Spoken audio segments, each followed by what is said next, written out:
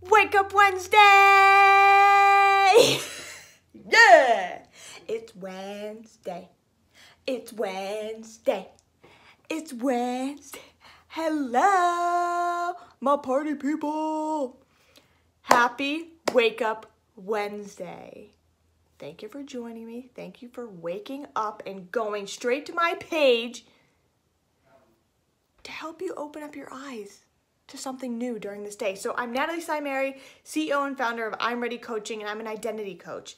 Okay, I'm here every single Wednesday to wake you, shake you, open up your eyes, your heart, your mind to something new. Okay, so diving right in today, Wednesday, I want you to think about your stress. Okay, what is the one thing or a few things that you stress about the most. Okay? If it's work, what is it in work that you stress about? Okay? Is it one person? Is it the workload? Is it the way your email pops up? Okay? If it's in your love life, what is it about that person? Or is it really you? Or is it the environment? Or is it the one thing that they do? Or whatever it is. Get into detail as to what this one thing is that you stress about all the time. Okay, now ask yourself. So as soon as you have that one thing, ask yourself, am I in control of this situation? Am I in control of the situation? If you are in control, give yourself steps to get what you want so that you can release that stress. Okay? If you are not in control, why do you feel the need to stress about it?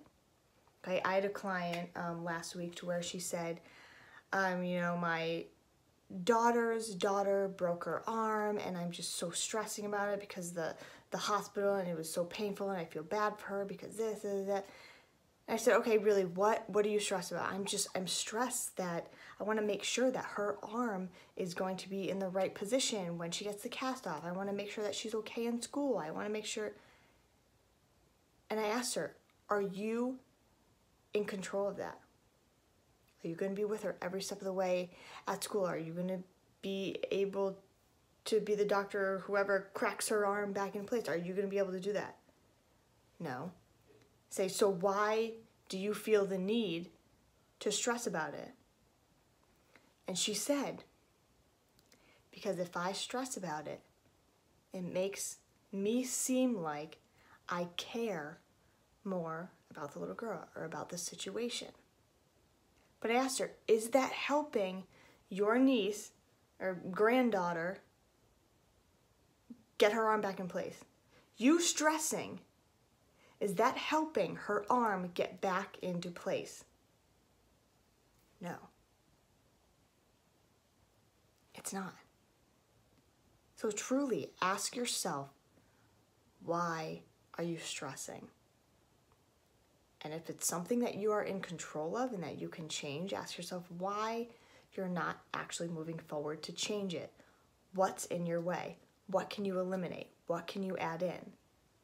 Okay, these are many things that we do in the Ready program. And, and if you don't know what the Ready program is, ask me.